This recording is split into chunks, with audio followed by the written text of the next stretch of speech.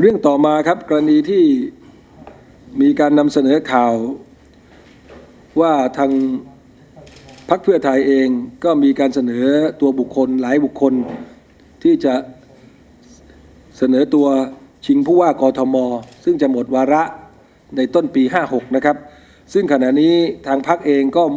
ได้มอบหมายคณะกรรมการทั้ง 3 โซน คือโซนฝั่งตะวันออกซึ่งมีท่านอนุดิตนาคอนทัพเนี่ยเป็นประธาน ฝั่ง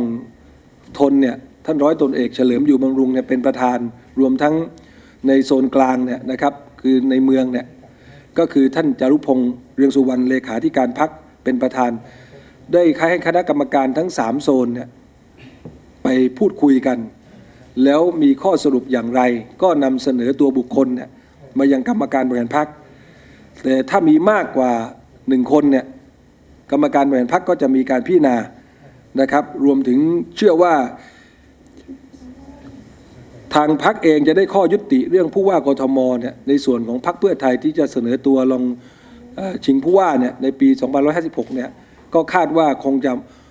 ไม่นานนี้นะครับ ซึ่งพี่น้องประชาชนก็สอบถามกันมาเยอะ และแสดงความห่วงใยว่าพักจะส่งใครนะครับ ซึ่งแต่ละโซนเนี่ยเขาก็มีการนำเสนอก็เป็นสิทธิ์ของแต่ละโซนแต่สุดท้ายเนี่ยก็จะมายุติที่กรรมการบริหารพักและเชื่อว่า คาดว่าไม่เกินต้นเดือนหน้านะครับ ก็คงจะได้ตัวว่าที่ผู้สมัครผู้ว่ากรุงเทพมหานครนะครับ ซึ่งภายในเดือนนี้เราอยากให้กทมทั้ง 3 โซน ได้มีการพูดคุยกันให้ตกผลึกนะครับ แล้วก็มีการนำเสนอตัวบุคคล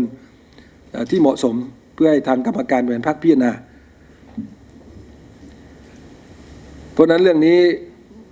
จึงขอปฏิเสธข่าวที่ว่ามีการเตะตัดขากันรวมถึง มีความไม่เป็นเอกภาพว่าโซนนู้นส่งคนคุณหญิงสุดารัตน์โซนนี้ส่งท่านปลอดประสบหรือบางโซนเสนอทาง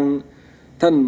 พลตำรวจเอกเพียวพันธ์นะครับ เรื่องนี้ยังไม่มีการตกผลึก และไม่มีการเตะตัดขา หรือไม่มีการขัดแข้งขัดขาแต่อย่างใด การเสนอเนี่ยเชื่อว่าเมื่อทุกฝ่ายเนี่ยเสนอมา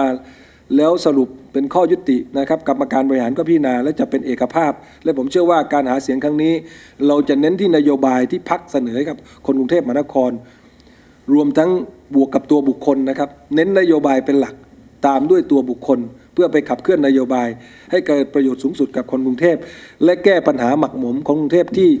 เขาเรียกหมักหมมมันช้านานนะครับ และปัจจุบันเนี่ยหลายปัญหายังแก้ไม่ได้ และการขาดการบูรณาการกับส่วนของรัฐบาลกลางนะครับ